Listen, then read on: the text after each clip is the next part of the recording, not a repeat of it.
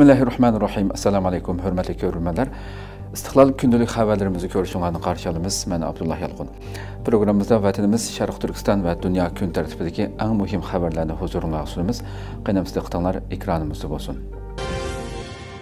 Angliya amerikaning xitoyni cheklash qaroriga agishishni o'ylashmoqda. Amerika hukumati amerika shirkatlarining xitoyning yuqori texnika sohasiga mablag' selishni cheklagandan keyin Angliya hukumati Amerikaning bu qarori haqida o'ylanayotganligini bildirdi. Amerika ovozining 10 avgustdagi xabarida bildirilishicha, Angliya hukumati Amerika prezidenti Jo Baydenning Xitoyning bir qism texnika sohalariga mablag' selishni cheklash qaroriga qanday javob qaytarishni o'ylashayotganligini hamda Angliyaning yushurun davlat bexatarlik xavfini davomli baholayotganligini bildirgan. Angliya hukumatining bayonotchisi Baydenning mazkur ma'muriy buyrug'ining Amerikaning harakat usulini texmi aniqlik bilan ta'minlaganligini bildirib, Angliya bu yangi tadbirlar haqida astoydil o'ylashidi hamda ba'zi mablag'larning davlat bexatarligiga bo'lgan yushurun xavfini doim o'ylashmoqda degan. Bildirilishicha xitoyning Hong Kongda yo'l qo'ygan atalmish davlat bexatarlik qonuni va xitoyning uyg'ur qatorliq turkiy millatlarga qarshi ijro qilayotgan irqiy qirg'inchilik jinoyati qatorliq masalalar sababli ikki taraf munosabatida davolg'ish paydo bo'lgan. Yaqinqi mazgillarda bo'lsa angliya xitoy bilan bo'lgan munosabatni muqimlashtirishga tirishib kelgan. Angliya bosh vaziri Rishi Sunak bilan Amerika prezidenti Jo Bayden 6 oyda Washingtonda Atlantik okean xitobnomasi e'lon qilib, o'zlarining bexatarlik masalasidagi tarixiy ittifoqligini kuchaytirib, ilg'or texnika, pokiz energiya va halqaliq mineral moddalar qatorliq sohalardagi iqtisodiy aloqani chuqurlashtirishga va'da bergan. Amerika hukumati 9 avgust Xitoyning yuqori texnika sohasiga mablag' selishni cheklash qarorini e'lon qilgan edi. Qarorda bexatarlik jihatdan xavf elib keladigan sohalarga mablag' selishni azaytish tadbirlariga asosan Amerika Xitoy iqtisodiy to'qinishida yangi sahifa ochiladiganligi bildirilgan edi. Xitoy Sharq Turkistonning boyligini bulaydigan 3-yo'l qurilishini boshladi.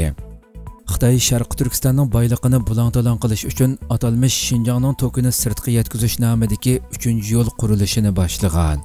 Xitoy tashviqot organi xalq to'rining xabar qilishicha 8 avgust Xitoy elektr to'ri cheklik shirkati Qumul Chongchang plus minus 800 kilovoltlik alohida yuqori besimliq turoqliq tok yetkazish qurilishi va Lizivan suv tartib energiya saqlash elektr stansiyasi qurilishida ish boshlash safarbarlik yig'ini o'tkazgan. Yığınğa atalmış Uyğur Abdümraylıq Partikomның sekretari Maşinroy, Çongçong şəhərlik Partikomның sekretari Yuan Jajun və Xitay Elektr Tori Çəklik baş müdiri Shin Bao-an, Xitay Energiya İdarəsinin muavin idarə başlığı Yubing, atalmış Uyğur Abdümrayonның rəisi Qorcaq əməldar Erkin Tunyas qatarlıq əməldarlar qatnaşqan. Xitoy tashviqot organlarining xabar qilishicha, bu qurilish atalmish Shinjongning tokini sirtqa yetkazish 3 qurilishining rasmiy boshlanganligidan derak beradi ekan.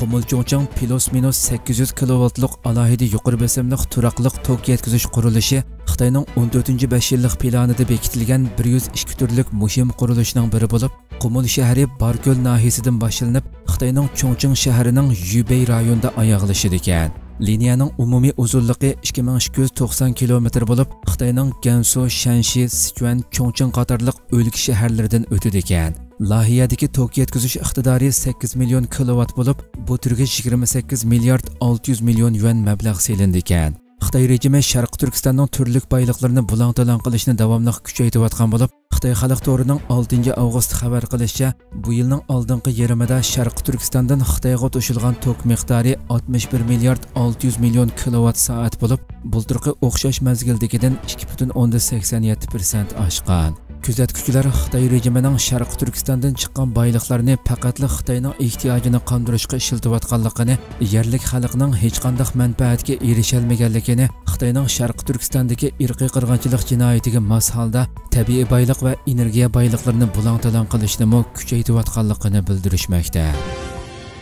Kanada parlament a'zosiga hujum qilishning parda orqasida Xitoyning borligi ma'lum bo'ldi. Kanada parlament a'zosi Michael Chongning undidor supisida Xitoylarning hujum nishoni qilinishining parda orqasida Xitoy rejimining borligi ilgari surildi.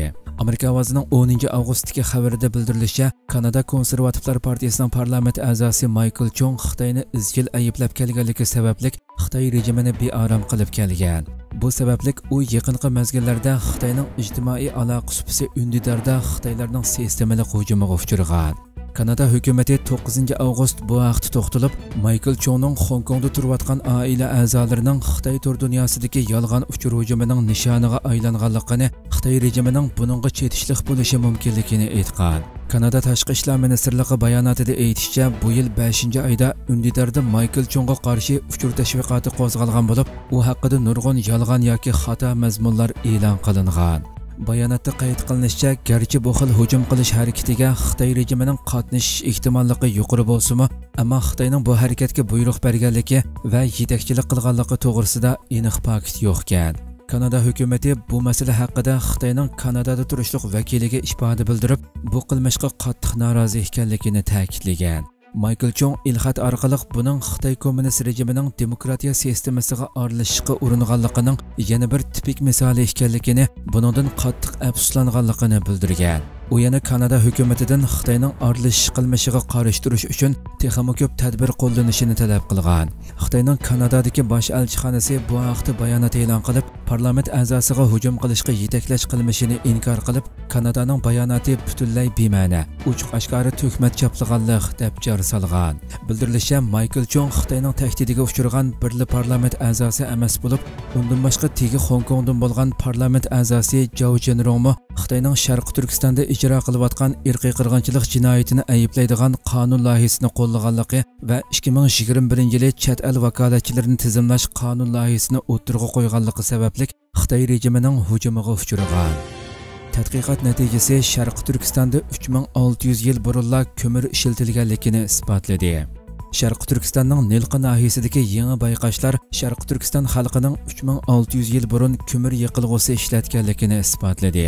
Xitoy pangpay xabar to'rining 8 avgustdagi xabarida bildirilishicha lanjo universiteti va boshqa organlarning tadqiqotchilari birlikda bir parcha tadqiqot maqolasi e'lon qilib nilqi nahiyasidagi ko'mir ishlatilgan tarixiy izlarga asosan insonlarning eng burunqi sistemalik ko'mir ko'ydirish tarixining 3600 yil ilgariga surilganligini isbotlagan. Lanjo Universiteti Boyliq va muhit instituti atalmish Shinjong madaniyat yodikorliklari va arxeologiya tadqiqot o'rni va Xitoy xalq universitetining tadqiqotchilari birlikda insonlarning ko'mirni yiqilg'u qilish tarixi haqidagi tadqiqot natijasi bo'lgan eng baldirqi sistemalik ko'mir yiqilg'u qilish 3600 yil ilgariga surildi nomli ilmiy maqolani tayyorlagan bo'lib, Ilm fan taraqqiyoti jurnalining 26 iyuldagi sonida e'lon qilingan. Мәлім bo'lishicha, tadqiqotchilar Шарқы Түркістанның Нилқы noyasiga joylashgan Jirintay иғызы харабесі va qabristonligini arxeologiyalik qazish orqali көмір еқылғысының sistemalik ішілтілгәлікіге aloqador tarixiy isbotlarni, shuning bilan birga mistavlash faoliyatlariga aloqador izlarni байқыған. Jirintay ig'izidagi sistemalik arxeologiyalik qazish 2020 yilga qadar davomlashgan bo'lib, ayni vaqtda cho'ng tipdagi qurilish, dafn qilish supsi qatorliqlar bayqalgan. Жерінтай жылғы еғізі харабесі вә қабірстанлықының Нілқы нахесі Көкқотқыр Мұңғыл есі Chalchiqtal kentining sharq tarafiga taxminan 1500 metr keladigan joyda bo'lib, Qosh daryosining chiqish eg'izidagi uzunligi 1 kilometr, kengligi 300 metr keladigan joyga to'g'ri keladi ekan.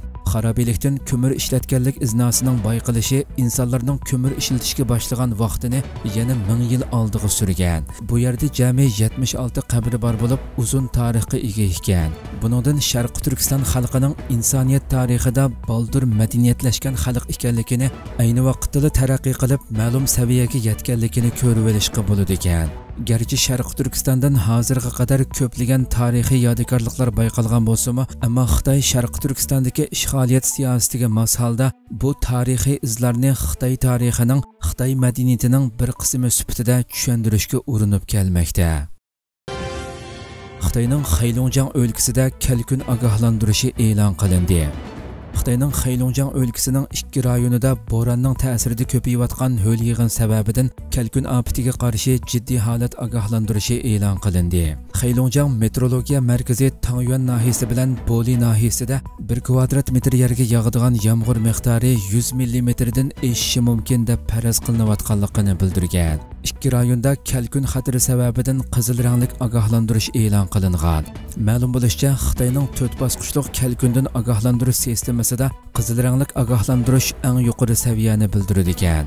Xaylonjang o'lkasidan eqib o'tadigan so'ngxua daryosining ba'zi tarmoqlarida suv saviyasi xatarlik nuqtaga yetgan. Hozirgacha 374 ming kishi ho'l yig'in va kalkun ofatlarining ta'siriga uchragan. 187 ming kishi bexatar joylarga tarqoqlashtirilgan.